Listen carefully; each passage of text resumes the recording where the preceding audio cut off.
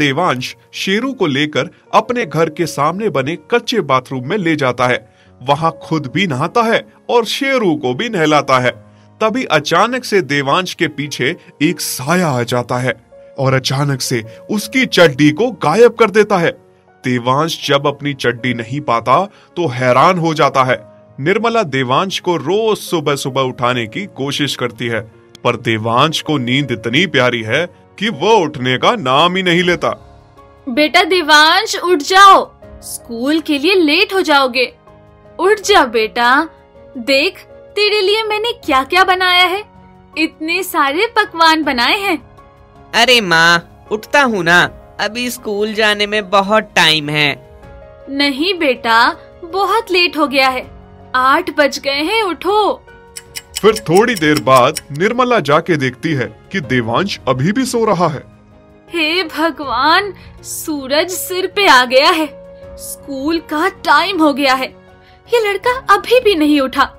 हम्म इसको उठाने का अब बस एक ही तरीका है। तभी निर्मला ज़ोर ज़ोर से चिल्लाने लगती है और कहती है देवांश बेटा शेरू नहीं मिल रहा। पता नहीं कहाँ चला गया है। देवांश झट से उठ जाता है और पूछता है क्या हुआ माँ? देखना बेटा शेरू नहीं मिल रहा। पता नहीं कहाँ चला गया है। अरे माँ यही कहीं होगा। कहाँ जाएगा मुझे छोड़ के वो? फिर देवांश शेरू को ढूंढते हुए बाहर आ जाता है और देखता है कि शेरू बाहर ही होता है। माँ तुमने मुझे झूठ बोल के जगाया ना? शेरू तो यहीं था। बेटा तो मैं क्या करती? तुम उठने का नाम ही नहीं ले रहे थे। तो मुझे लगा तुम शेरू से बहुत प्यार करते हो। उसके खो जाने का बहाना लगाती हूँ तो तुम उठ जाओगे। चलो अब जल्दी से नहा लो। पहले ही स्कूल के लिए इतना लेट हो चुके हो तुम। क्या माँ? तुम भी जानती हो शेरू मुझसे कितना प्यार करता है फिर भी।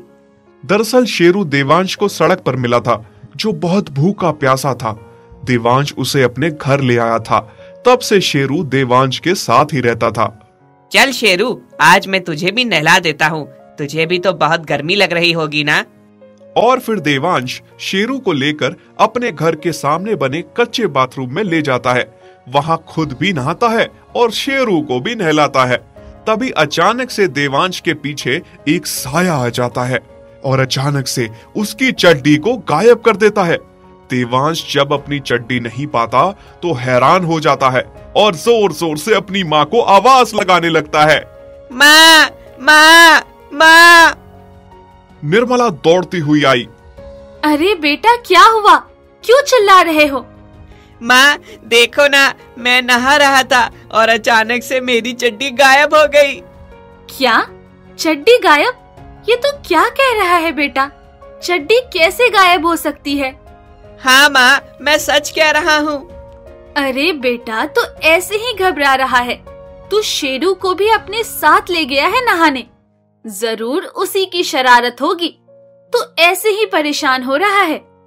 नहीं माँ शेरू तो मेरे एकदम सामने है। वो ऐसा नहीं कर सकता। अच्छा चलो छोड़ो। मुझे दूसरी चड्डी ला कर दो।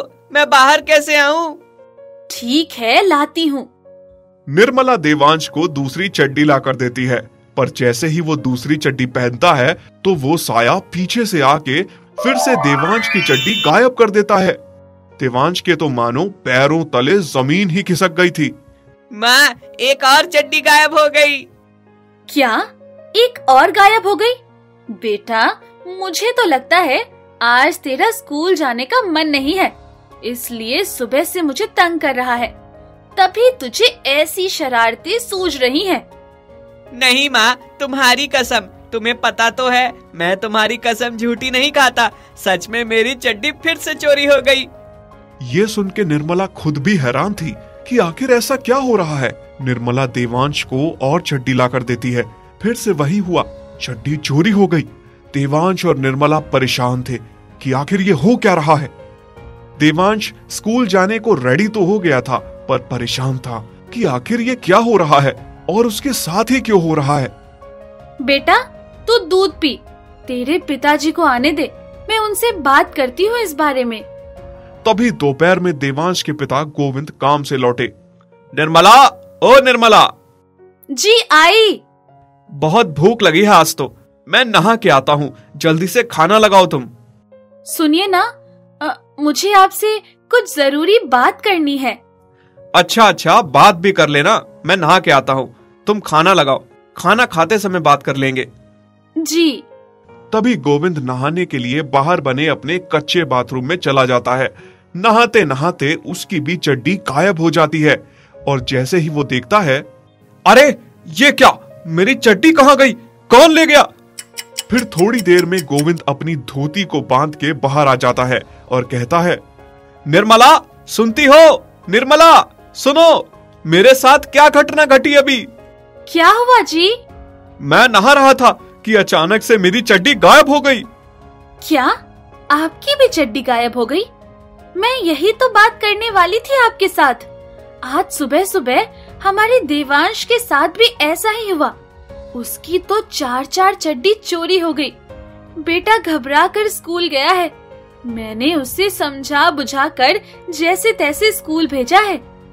तभी अचानक से बाहर पूरे गाँव में हल्ला मच जाता है। निर्मला और गोविंद बाहर जाकर देखते हैं तो सारे गाँव वाले इकट्ठा थे। गोविंद ने जाके पूछा, क्या हुआ भैया? सब इकट्ठा क्यों हुए हैं? और इतना हल्ला क्यों मचा हुआ है? तभी गाँव के एक सदस्य, बिरजू ने गोविंद को बताया, अभी सारे गाँव के आदमी लोग अपने अपने काम से लौटकर घर पहुँच के नहाने लगे और सारे के सारे गाँव के आदमियों की चड्डियाँ चोरी हो गईं। क्या? सबकी चड्डियाँ चोरी हो गईं? मुझे लगा मेरे घर में ही कुछ भूत लगा हुआ है, जो मेरे और मेरे बेटे की चड्डी चुरा रहा है। ये बात गाँव के सरपंच तक पहुँच गई। गाँव में सभा बुलाई गई। सबने गाँव में हो रही चड्डी चोरी के बारे में सरपंच से शिकायत की। सरपंच ने सारी बातें सुनी और फिर बोला, अरे, वो चड्डी सिर्फ़ तुम लोगों की ही नहीं, बल्कि आज सुबह नहाते टाइम मेरी चड्डी भी चोरी हो गई। सारे लोग आपस में बात करने लगे। अरे हमारी चड्डी चोरी हुई है तो हुई लेकिन गाँव के सरपंच की चड्डी तक भी पहुँच गया कोई? ये तो बहुत बड़ी बात हो गई कि कोई सरपंच की चड्डी तक भी पहुँच गया। सरकार को इसका कुछ करना होगा। मामला बढ़ता ही जा रहा है। क्या लगता है आप गाँव वालों को इसके पीछे कौन हो सकता है? तभी एक गाँव वाला उठा और बोला सरकार मुझे तो लगता है कि इसके पीछे कोई भूत प्रेत है। हाँ हाँ सरकार मुझे भी यही लगता है। तभी सरपंच गोविंद से पूछते हैं। गोविंद तुम्हें क्या लगता है? सरकार गाँव वाले सही कह रहे हैं। मुझे ऐसा महसूस भी हुआ जैसे कोई साया था। ये ज़रूर हमारे गाँव पर किसी आत्मा का साया है। सारे गाँव वालों की बात सुनने के बाद सरपंच ने यह फैसला लिया कि भूत को पकड़ने के लिए किसी अच्छे तांत्रिक को बुलाया जाए। गाँव वालों ने देरी ना करते हुए उसी दिन पास के गाँव में बहुत बड़े ज्ञानी तांत्रिक को बुलाया। तांत्रिक ने अपनी तंत्र विद्या से चड्डी चोर भूत को बुलाया। कुछ ही देर में भूत सामने आ खड़ा हुआ। सब लोग भूत को देख के हैरान थे। तभी सरपंच ने तांत्रिक से कहा, तांत्रिक बाबा, आप इस भूत से पूछिए, क्या दुश्मनी है इस भूत की हमारे गाँव वालों से? क्यों ये हमारी चड्डियाँ चुरा के दहशत फैला रहा है? दुष्ट आत्मा, क्या दुश्मनी है तुम्हारी इन गाँव वालों से? क्यों परेशान कर रहे हो तुम इन लोगों को? ऐसा क्या किया लोगों ने तुम्हारे साथ, जो तुम इनकी चड्डियाँ चुरा रहे हो? मैं दुष्ट आत्मा नहीं हूँ। मैं भी बहुत अच्छा इंसान था। पास के ही गाँव में मेरा घर था। मैं अकेला ही रहता था। फिर एक दिन की बात है। गाँव में मेरा एक चाय का स्टॉल था। मैं आते जाते लोगों की मदद किया करता था। जिसके पास चाय के पैसे होते, मैं पैसे ले लेता। और जिसके पास नहीं होते, मैं फ्री में उसे चाय पिला देता। एक दिन मैं सुबह सुबह अपने घर के बाहर बने कच्चे बाथरूम में नहाने के लिए गया। तभी पीछे से एक कुत्ता आया।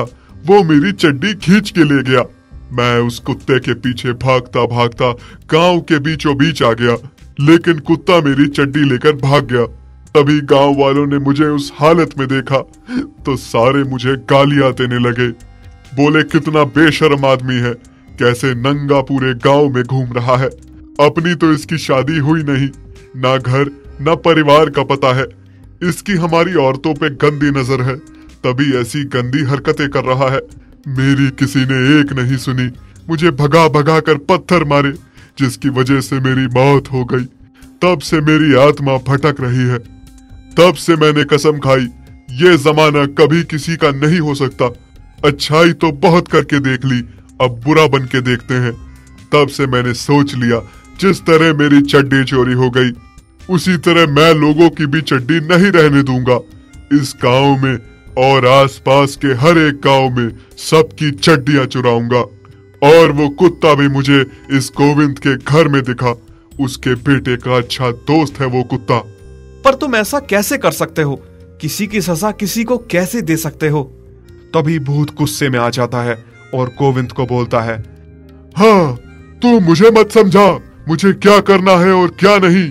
मुझे ज़्यादा गुस्सा ना दिलाओ, वरना तुम्हें यहीं भस्म कर दूँगा। देखो, तुम ठंडे दिमाग से काम लो। मुझे यकीन है, अगर तुम इतनी अच्छे इंसान थे तो तुम पर बुराई ज़्यादा देर तक हावी नहीं हो सकती। तुम बात को समझोगे, गलती एक बेजुबान जानवर से हुई है। और तुम्हें तो पता है छोटे छोटे कुत्ते कितने शरारती होते हैं। उस चीज़ की सजा तुम सारे समाज को नहीं दे सकते। तभी भूत पे सरपंच की बातों का असर हो जाता है और वो समझ जाता है कि वो गलत कर रहा है। शायद आप लोग ठीक कह रहे हैं। मुझे ऐसा नहीं करना चाहिए। आज से मैं तुम लोगों की चड्डियाँ नहीं चुराऊँगा। बस मेरा एक काम करो। मेरी आत्मा को मुक्ति नहीं मिली है। क्योंकि मुझ अनाथ का किसी ने अब तक अंतिम संस्कार नहीं किया है। मेरा संस्कार कर दो। मुझे मुक्ति मिल जाएगी। फिर सारे गाँव वाले तांत्रिक के साथ मिलके उस लाश का संस्कार कर देते हैं जिससे उसकी आत्मा को शांति मिल जाती है और फिर सारे गाँव वाले खुशी खुशी रहने लगते हैं। आकाश और राजू बहुत ही अच्छे दोस्त थे। वो एक इंजीनियरिंग कॉलेज में पढ़ते थे। यार देख मैंने ना एक बहुत ही अच्छी मशीन बनाई है। इससे हम भूतों को पकड़ सकते हैं। क्या यार? बकवास न कर। तू देख तो सही। इससे हम भूतों को पकड़ सकते हैं। बेकार की बातें क्यों करता है? हमारा फाइनल ईयर है। हमें एक अच्छा प्रोजेक्ट बनाना है। इन बकवास मशीनों पर अपना टाइम वेस्ट ना कर। देख प्रोफेसर आ रहे हैं। मैं उन्हें दिखाता हूँ। आकाश वो मशीन को लेकर प्रोफेसर के पास जाता है और उन्हें कहता है सर मैंने ये मशीन बनाई है। एक बार आप चेक कर लो। मुझे यही काम रह गया है कि मैं तुम्हारी मशीनों को चेक करता रहूँ। ऐसे भी कोई मशीन बनती है क्या? जाओ अपना काम करो। सर आप इसे देखेंगे तो हैरान रह जाएँगे। तुम एक इंजीनियर बनने वाले हो। इन छोटी छोटी मशीनों पर अपना समय बर्बाद ना करके कुछ काम की चीज़ें बनाओ जिससे तुम्हें फाइनल ईयर के प्रोजेक्ट में मदद मिले। वही तो कर रहा हूँ सर। अच्छा चल के दिखाओ। आकाश उस मशीन को चलाता है पर वो मशीन काम नहीं करती। वो बहुत कोशिश करता है पर वो असफल रहता है। राजू भी खड़ा हुआ ये सब देख रहा होता है। इस मशीन में कुछ है भी। बेकार में तुमने मेरा भी समय बर्बाद किया और अपना भी। इतना समय अगर तुम पढ़ने में लगाते तो तुम्हारे काम आता। अरे आकाश सुबह से ही इस मशीन को लेकर घूम रहा है तू। क्या करेगा भूत पकड़ के? उनकी शादी में नाचेगा क्या? बेकार में मेरा दिमाग मत खराब कर। मेरी खोपड़ी पहले से ही हिली हुई है। इतनी मुश्किल से ये मशीन बनाई और उसमें कोई भी इंटरेस्ट ही नहीं ले रहा है। बनाना है तो ढंग की मशीन बना। जब भूत होते ही नहीं तो उस मशीन का क्या फ़ायदा? भूत होते हैं और मैं ये साबित करके रहूँगा। अब अपने दिमाग को ठंडा कर और लस्सी पीने चल। आकाश और राजू लस्सी पीने के लिए चल पड़ते हैं। पर आकाश अपनी बनाई हुई मशीन से इतना परेशान हो जाता है कि वो उस मशीन को कूड़े के ढेर में डाल देता है और राजू के साथ चला जाता है। तूने मशीन कूड़े में क्यों डाल दी? जब तुम्हें इस मशीन पर विश्वास ही नहीं है और ये चलती ही नहीं है तो इसका क्या फ़ायदा? उसकी जगह कूड़े घर में ही है। आकाश और राजू उस मशीन को भूल जाते हैं और लस्सी पीना शुरू कर देते हैं। तभी उसके होठों पर लस्सी लग जाती है जिसे देखकर राजू तेज़ी से हंसता है। ये ले तू अभी से ही बूढ़ा हो गया। मतलब? देख तेरी सफ़ेद मूछे आ गई हैं। दोनों खिलखिलाकर हंस पड़ते हैं। फिर जब वो लस्सी पीकर वहाँ से निकल रहे होते हैं तभी उनकी नज़र रोड पर बैठे एक झाड़ फूक करने वाले आदमी पर पड़ती है। तुझे मशीन बनाने की ज़रूरत ही क्या थी? ये मशीन है ना? ये भूतों को पकड़ लेती है। अगर तू मशीन बनाएगा तो बेचारे इन झाड़ फूक वाले बाबाओं का क्या होगा? ये तो झूला छाप बाबा है। ये भला भूतों को क्या पकड़ेगा? आकाश उस मशीन को भूल जाता है पर पता नहीं क्यों राजू को उसमें रुचि पैदा हो जाती है। वो रात भर सो नहीं पाता और आधी रात को उठकर खड़ा होता है और उस कचरे के डिब्बे के पास पहुँचता है। इस मशीन को मैं ऐसे ही बर्बाद होने नहीं देना चाहता। मैं इसको पूरा करूँगा और सच में एक भूत पकड़ने वाली मशीन बनाऊँगा। अगर ये प्रोजेक्ट पूरा हो गया तो मैं उन भूतों की मदद करूँगा जो मुसीबत में हैं। राजू उस नशे में दिन रात लगा रहता है और उसे एक नया रूप दे देता है और वो सच में भूत पकड़ने वाली मशीन बन जाती है। वो भागता हुआ आकाश के पास जाता है। ये देख तेरे इस प्रोजेक्ट को मैंने पूरा कर दिया है। अब ये सच में एक भूत पकड़ने वाली मशीन बन गई है। चल जल्दी चल मेरे साथ। मुझे नहीं जाना। अब मुझे भूतों में कोई इंटरेस्ट नहीं है। चलना यार एक बार चल मेरे साथ। आकाश और राजू जब उस मशीन के पास पहुँचते हैं तो उसे ध्यान से देखते हैं। तभी उसकी एक हरी लाइट जलने लगती है। आकाश, इसका मतलब यहाँ पर कोई भूत है। हमें उसका पता लगाना होगा। देख, इसकी हरी लाइट जल रही है और बीप भी बज रही है। इसका मतलब यही है कि यहाँ भूत है। हमें उसे पकड़ना होगा। चल जल्दी, चलते हैं उस भूत के पीछे। दोनों उस मशीन की मदद से चलते जाते हैं। वहाँ बहुत घनघोर अंधेरा होता है। बीप भी तेज होती चली जाती है। वो उस बीप के पीछे पीछे चलते जाते हैं और उस जंगल में पहुँच जाते हैं। उस जंगल में पहुँचते ही मशीन पर लगे कैमरे में बहुत सारे भूत नज़र आते हैं। अरे ये मशीन तो सच में काम कर रही है। देख यहाँ पे कितने सारे भूत हैं। भूतों की मंडली जमा हुई है। चुप रहे। अगर उन्होंने हमारी आवाज़ सुन ली तो वो हमें खा जाएँगे। तभी उन भूतों में से एक भूत समझ जाता है कि आकाश और राजू उसका पीछा कर रहे हैं। वो उस कैमरे की मदद से उनसे बोलता है तुम दोनों क्या करने आए हो हम लोगों की दुनिया में? चले जाओ यहाँ से। नहीं तो बहुत भारी पड़ेगा। हमारी मशीन ने आप लोगों का पता बताया है। हम आपसे बात करना चाहते हैं। हम तुम्हारी इंसानों की दुनिया से अलग हैं। तुम हमसे बात करके क्या करोगे? इस मशीन से तुम क्या साबित करना चाहते हो? क्यों हमें परेशान कर रहे हो? हम तुम इंसानों से अलग हैं। हमने ये भूत पकड़ने वाली मशीन बनाई है। हम तुम्हें कोई हानि नहीं पहुंचाना चाहते बल्कि हम इस मशीन की मदद से तुम लोगों तक पहुंचकर तुम्हारी मदद करना चाहते हैं। हम चाहते हैं कि तुम सब हमें बताओ कि तुम्हारी मुक्ति का मार्ग क्या है और हम तुम्हारी मदद करें और तुम्हें इस भूत योनि से मुक्ति दिलाएँ। जाओ जाओ अपना काम करो। हमें यहाँ पर रहने दो। हमें मुक्त नहीं करा सकते तुम दोनों। हम जानना चाहते हैं कि तुम्हारी मौत कैसे हुई। तुम्हारी कोई इच्छा जो अधूरी रह गई हो हम वो पूरी करेंगे। कोई बात जो तुम अपने परिवार से कहना चाहते थे या कुछ करना चाहते थे और अचानक से तुम्हारी मौत हो गई हम वो सब पूरा करेंगे। भूत आकाश और राजू के समझाने पर समझ जाता है और वो एक एक करके अपनी सारी समस्याएँ बताता है और राजू और आकाश उनकी मदद करते हैं, जिसकी वजह से उन्हें मुक्ति मिल जाती है। तभी वहाँ एक रवि किशन नाम का भूत आता है और वो कहता है, तुम सभी की समस्याएँ दूर कर रहे हो ना? मेरी भी एक समस्या है। जब मैं ज़िंदा था, तब मुझे एक रानी नाम की लड़की चाहिए थी। जिसको पाने के चक्कर में मेरी मौत हो गई। अब अगर तुम मुझे वो दिला सकते हो तो मैं तुम्हें मान जाऊँगा।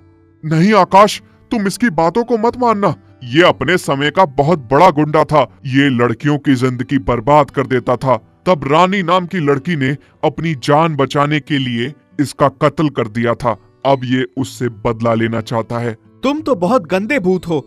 हम तुम्हारी मदद नहीं कर सकते। आकाश के मना करने पर रवि किशन को गुस्सा आ जाता है और वो आकाश पर हावी होने लगता है। तभी सभी भूत, जिनकी भी आकाश ने मदद की थी, सब रवि किशन को अपनी शक्तियों से भस्म कर देते हैं और आकाश और रवि की मदद से सभी मुक्त हो जाते हैं। यदि आप ऐसी कहानियाँ और देखना चाहते हैं तो हमारे चैनल को सब्सक्राइब करें और बेल आइकन पर क्लिक करें, ताकि हमारी सारी नई वीडियोस आप सबसे पहले देख सकें।